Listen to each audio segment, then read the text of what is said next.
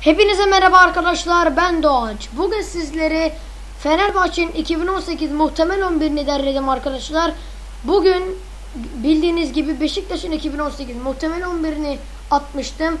Şimdi ise sizlere Fenerbahçe'nin 2018 11'ini derledim. Arkadaşlar mouse bozuk e, hareket edemeyebilir şey olan yani e, hareket edemeyebilir onun için kusura bakmayın. Kanala abone olmayı unutmayın. Videoya like ve yorum atmayı unutmazsanız beni sevindirirsiniz. Hemen yorumlamamıza geçelim. Evet arkadaşlar forvet hattından başlıyoruz. Forvet hattımızda Robin van Persie var. Arkadaşlar iyi bir stoper bence. Özür diliyorum iyi bir forvet bence. Ee, ama e, bence Fenerbahçe'nin bir forvet transferi daha yapması lazım arkadaşlar. Arkadaşlar bence Van Persie olmazsa yerine Fernanda oynar. Biliyorsunuz ki geçen sezon Atiker Konya Spor maçında e, omzunu kırıp sakatlamıştı ve sezonu kapatmıştı. Bu sezon e, gitme ihtimali var ama eğer gitmezse Van Persie de oynamazsa yerine Fernando'yu oynatacağını düşünüyorum ben Aykut Kocaman'ın. Evet arkadaşlar geldik kanatlara. Sol kanatta Matthew Valbuena var arkadaşlar. Arkadaşlar Valbuena çok iyi bir transfer.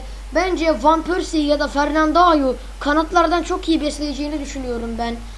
Ee, zaten Valbuena'nın da e, yararlı olur mu videosunu çekmiştim. Eğer o videoya da gitmek istiyorsanız açıklama kısmındaki linke tıklayabilirsiniz. Ee, evet bence Valbuena iyi bir transfer. Dediğim gibi Van Persie ve Fernando'yu iyi besleyeceğini düşünüyorum. Evet geldik Jermin Lens arkadaşlar. Jermin Lens zaten Fenerbahçe'ye kiralık olarak gelmişti Sunderland'dan ve takımına geri döndü. Sunderland'e geri döndü. E, yani bakın ben bir Galatasaraylı olarak bunu söylüyorum. Keşke Lens gitmeseydi. Ama Fenerbahçe'nin hala alma ihtimali var. E, ama bence alamayacağını düşünüyorum ben. Bakın arkadaşlar Fenerbahçe'yi sevmem normalde ama bakın arkadaşlar sevmediğimden dolayı Lens'i almazlar demiyorum. Bence Lens'i alamayacaklar arkadaşlar. Sunderland vermez Fenerbahçe'yi. Evet. Geçtik orta sahaya. Orta sahada Josef de Souza var. Evet. Özellikle derbilerde araya giren mükemmel bir orta saha, mükemmel bir orta saha oyuncusu arkadaşlar. Zaten Fenerbahçe Galatasaray Fenerbahçe maçında e, zaten şey e, kafa golü atmıştı arkadaşlar 90 artı 1'de. İşte bakın ben bir Galatasaraylı olarak bunu söylüyorum. Dediğim gibi De Souza işte bu şekilde aralara girip goller atıyor. Evet şimdi geçtik oyun kurucuya. Forvet arkası Salih Uçan var arkadaşlar. Salih Uçan çok da iyi bir orta saha değil arkadaşlar. Yani orta saha e, yüzdesi benim için şu kadar falandır. Benim için şu kadardır. Yani zaten fazla oynamıyor. Tek bir Beşiktaş derbisinde oynamıştı.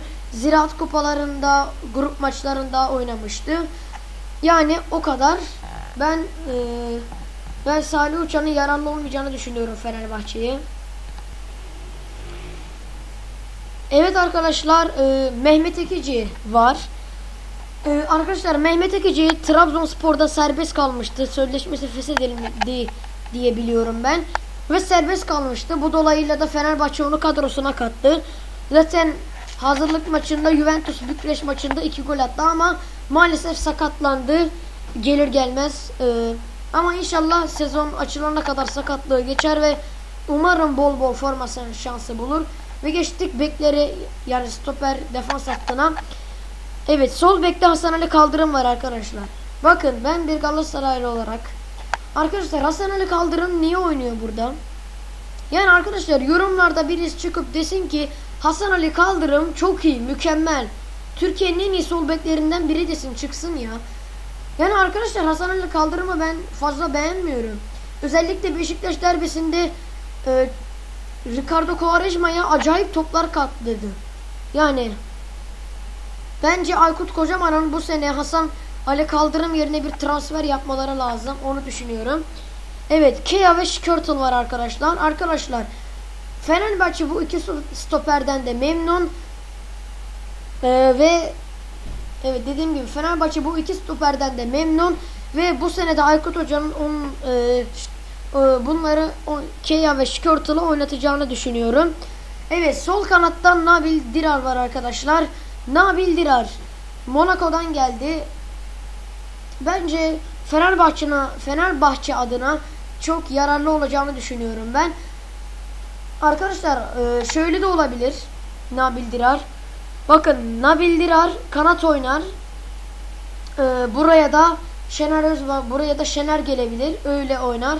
Ben böyle düşünüyorum. Benim düşüncem böyle. Sizin düşünceniz nasıl? Yorumlara yazın. Ben böyle düşünüyorum. Evet arkadaşlar ben kaleye Kameni'yi koydum arkadaşlar. Ee, Kameni'nin yerine Volkan da oynayabilir. Benim düşüncem böyle. Ee, bence Aykut Hoca Kameni'ye daha çok forma şansı vereceğini düşünüyorum. Zaten e, Volkan da e, hazırlık maçında çok gereksizce goller yemişti arkadaşlar. Yani ben e, Aykut Hoca'nın Kameni'ye daha çok forma şansı göreceğini talep ediyorum. Evet arkadaşlar videomuz bu kadardı. Umarım videoyu beğenmişsinizdir. Beğendiyseniz abone olup bildirimlere özür diliyorum. Beğendiyseniz like atmayı, kanala da abone olup bildirimleri açmayı unutmazsanız beni sevindirirsiniz. Bay bay nedeni ailesi.